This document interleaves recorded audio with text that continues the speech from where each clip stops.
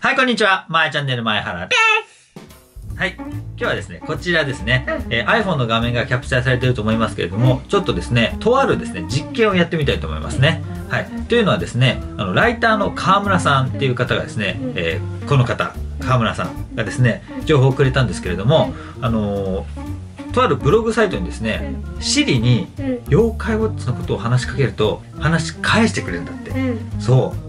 だからそれをですね、ちょっと実験でやってみたいと思います。じゃあ早速やりましょうか。うんシリをまず立ち上げますね。どの音声だろう？じゃあうん、パパまずやってみるね。俺の友達出てこい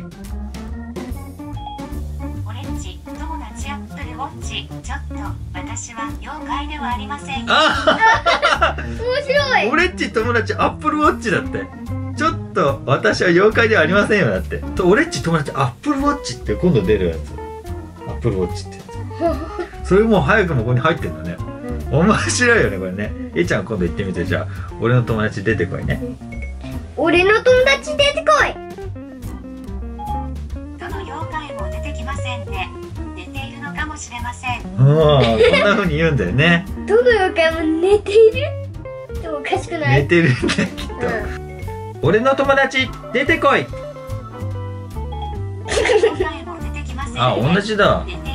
じゃあ今度はこっちやってみましょうか。妖怪メダルセットオン。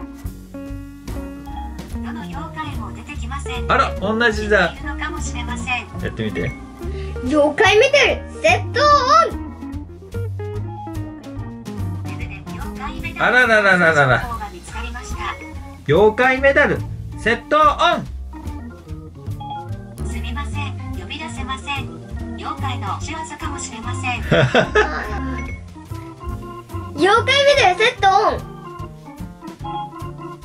ストーンに妖怪メダルセットオン。妖怪佐藤。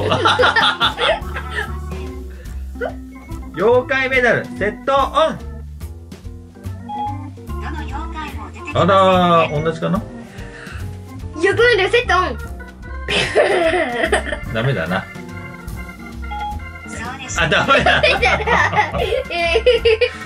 そうでしょうねって、そうでしょうねって言われちゃってるじゃん。俺の友達出てこい私が呼び出せるのはアップくらいですよあアップ読み出せるって。アップってどういう意味？アプリだ、アプリ。アプリそうそうそう。ちょっと低い声で言ってみて。妖怪メダル、セットオンって言ってみて。妖怪メダルセットオあー、惜しいどうやら別のウォッチと間違えているようですねよかったよかった。聞けたけど、でも同じ回答だったね。はい。こんな感じですね。えー、ぜひですね、iPhone 持ってる方、ンうんやってみてください。お父さんとかお母さんがね、うん iPhone 持ってたら、この Siri でね、うんちょっと試させてもらってみてください。うんはい。ということで今回はですね、この Siri にちょっと妖怪ウォッチのことを話しかけてみましたね。面白かった。うんこれなかなか、あれだね、Siri ってちゃんとアップデートされてんだね。うんうん。はい。ということで今回は以上でございます。バイバーイ